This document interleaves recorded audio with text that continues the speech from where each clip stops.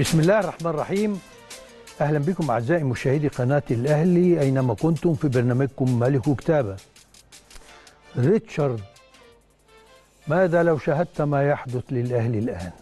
إبراهيم. أهلا بك يا باشمهندس. أهلا بكم أعزائي المشاهدين. وموعد يتجدد معكم والحلقة 817 في لقاء الاثنين من ملك وكتابة يستدعي فيها المهندس عدلي ريتشارد. خير. يذكرني ما يحدث مهم. على الساحة هنا.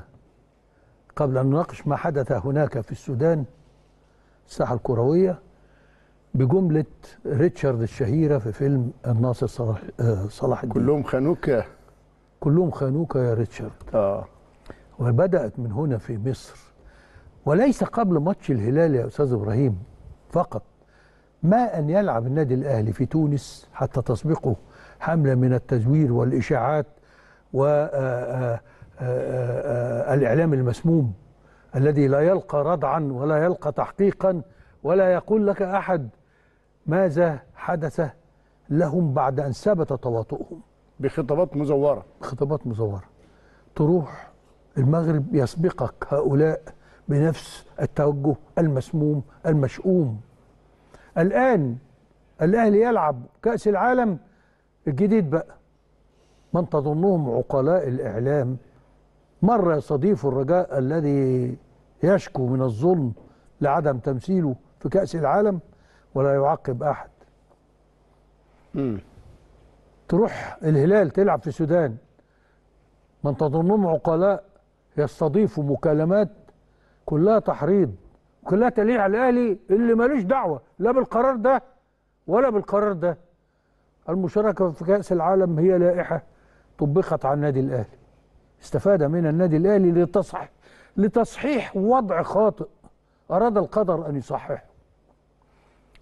تيجي رايح السودان مداخلة مع رئيس السودان آه النادي ال- ولا المتحدث الرسمي للنادي عشان يقول لك الأهلي والطفل المدلل مش طفل. عملية تسخين وترويج يتلقفها طبعا. اللي ما بيفوتش. عشان يدوس عليها ويبتدوا غزل بعض بعد الماتش. أنا بهدي لك الفوز.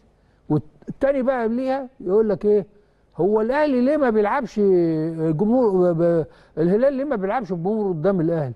اسأل نفسك أنت ليه لعبت الخرطوم في ليبيا؟ المريخ. آه. الم... ال... المريخ.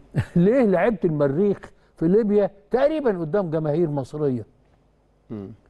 لكن محدش هو الأهلي اتباع هنا في مصر من الإعلام المصري من المواقف الغريبة اللي للأسف الشديد يعني كان الواحد مش فاهم برضه. كنت أتوقع أن يقف الجميع في خلف الأهلي وأولهم مثلا الاتحاد الكورة.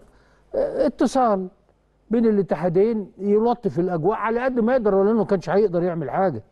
لأن الموضوع مرتب له كما يبدو أن يحدث هذا للنادي الأهلي وهناك الكثير من التفاصيل. ولكني فعلا تذكرت قولة ريتشارد. كلهم خانوك يا ريتشارد.